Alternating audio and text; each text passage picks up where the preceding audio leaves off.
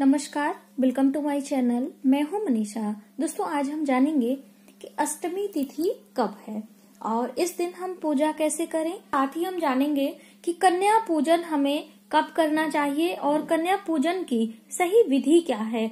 और जो लोग प्रतिपदा और अष्टमी का व्रत रखते हैं, केवल नवरात्रि का दो दिन ही रखते हैं, उन्हें कब कन्या पूजन करना चाहिए? ये सभी विशेष जानकारी आज हम आपको इस वीडियो में देंगे। तो चलिए हम अपने वीडियो को शुरू करते हैं। दोस्तों, यदि आप हमारे चैनल पर पहली बार आए हैं तो प्लीज़ हमारे चैनल को सब्सक्राइब ज़रूर करें। सब्सक्राइब करने के लिए सब्सक्राइब बटन को प्रेस करें।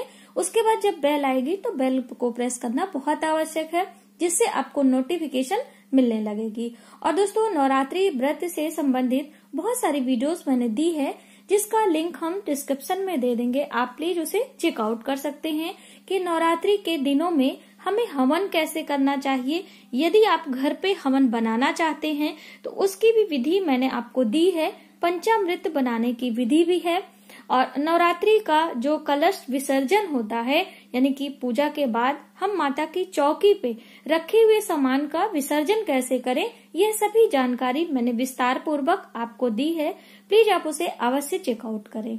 दोस्तों, चलिए जानते हैं कि अष्टमी तिथि का प्रारंभ कब हो रहा है और इस दिन हमें कौन सी माता, यानी कि माता के किस स्वरूप की पूजा करनी चाहिए? नवरात्रि का त्योहार पूरे भारत वर्ष में बड़े ही धूमधाम से मनाया जाता है।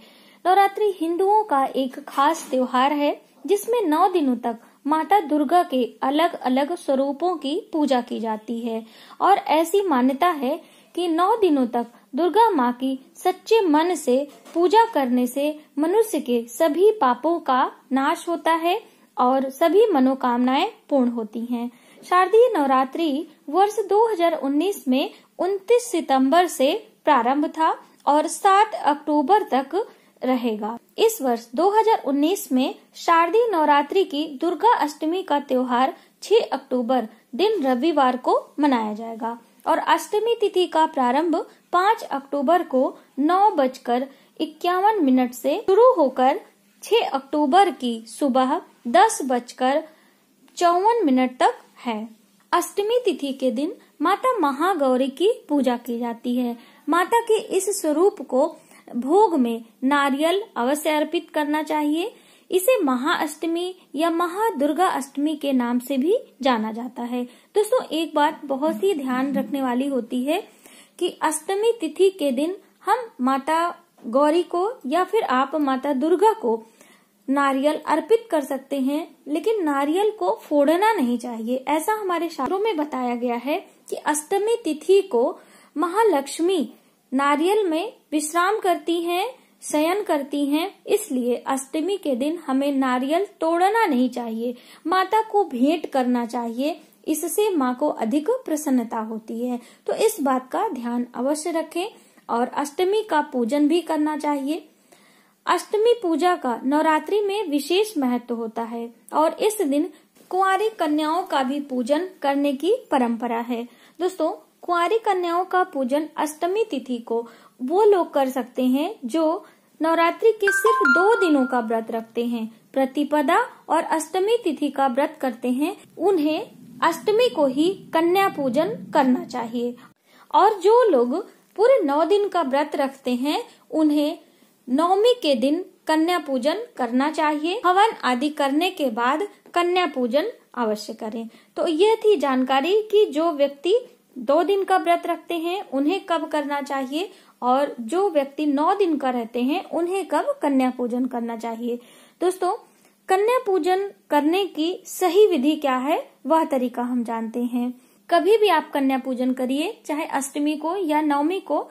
कन्या पूजन की विधि यही होना चाहिए। कहीं कहीं इसे कंजक पूजन भी कहते हैं। तो सर्वप्रथम तो हमें कन्याओं के घर जाके कन्याओं को निमंत्रण देना चाहिए। और यदि ऐसा ना हो सके तो आप उस दिन भी उन्हें निमंत्रण अवश्य दें। जब कन्याएँ आपके घर आती हैं तो सर्वप्रथम उनका पैर धुलाना चाहिए। उसके बाद उनके पैरों को पोछकर एक साफ़ आसन पर उन्हें बैठाना चाहिए। उसके बाद उन्हें हल्दी कुमकुम से तिलक करें और अक्षत छिड़के, साथ में पुष्प भी छिड़कना चाहिए। सभी कन्याओं की बाई कलाई में मौली बांधें और उनका पूजन करें।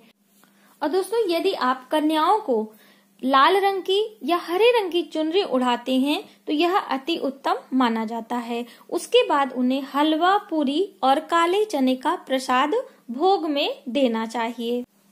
इस तरह से आप सभी कन्याओं को भोग खिलाएँ, उसके बाद पानी देकर उनका मुख शुद्धि कराएँ यानी कि उनका मुख आप धुला सकते हैं।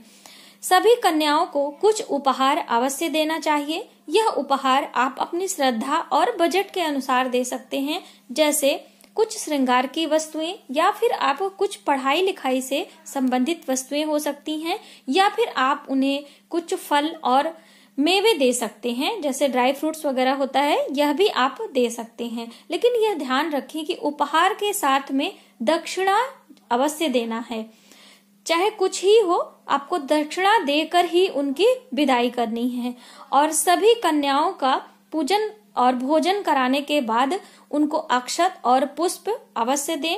उसके बाद यह अक्षत पुष्प आप स्वयं के ऊपर, जितने भी परिवार के सदस्य हैं, उनके ऊपर छिड़कने को कहें कन्याओं से, और उसके बाद आप उनका आशीर्वाद लें पैर छूकर।